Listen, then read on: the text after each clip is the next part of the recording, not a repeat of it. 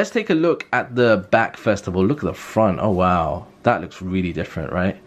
All right, we'll talk about the front in a moment, but the back. The first major thing that you can tell at the top is the fact that the camera is now vertical as opposed to horizontal. But let's take a look at the back first of all. Look at the front. Oh wow, that looks really different, right? See. All right, we'll talk about the front in a moment, but the back. The first major thing that you can tell at the top is the fact that the camera uh, is now vertical as opposed to horizontal. Where's my iPhone 7? Plus. Here, there we go. There's my current iPhone, the iPhone 7 Plus. You can see that the camera so arrangement is different. And also, is uh, on the current iteration of the iPhone, you have the LED flash here, whereas on the new one, it's kind of uh, embedded within this camera unit. So that's one major difference. The second thing is the actual kind of look and material of this.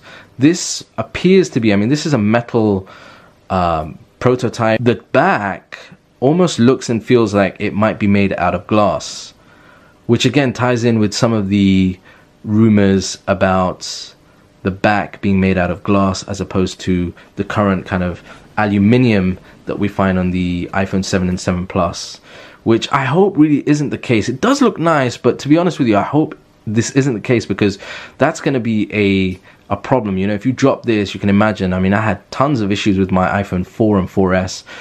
Um, if you end up dropping this, then this is going to shatter very, very easily. So we'll have to wait and see if that's the case. It does look nice. It does look nice indeed. Now, another thing to notice, which I've just noticed now, is the edge on this particular model is actually some kind of metal or chrome look, which I don't know. It looks a bit tacky if I'm being honest. It does look a bit kind of cheap and tacky. Yeah, I hope that's not the case. Now, I purposely got the white color because um, there are a couple of prototype models that are in the darker color knocking around. I didn't want to get that because I, I, they don't really show up very well on camera, and I'm glad I got the uh, the lighter version because you can see the details a lot clearer on camera.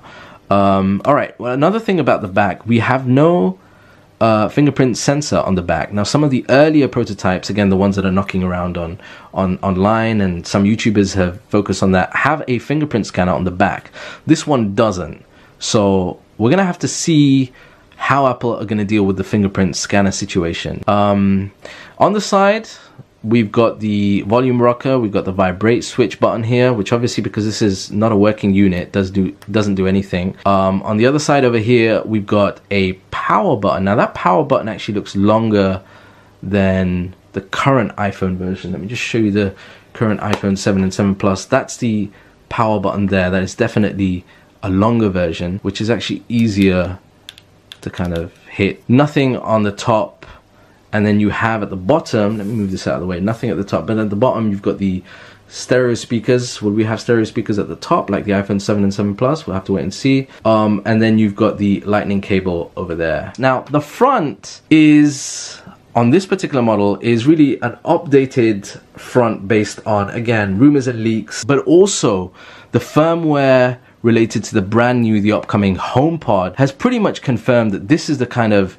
front screen that we're going to get. We're going to get this kind of unit at the top that has very interesting, not one, two, three, four, but yeah, so we're going to have what appears to be almost like two front cameras what looks like a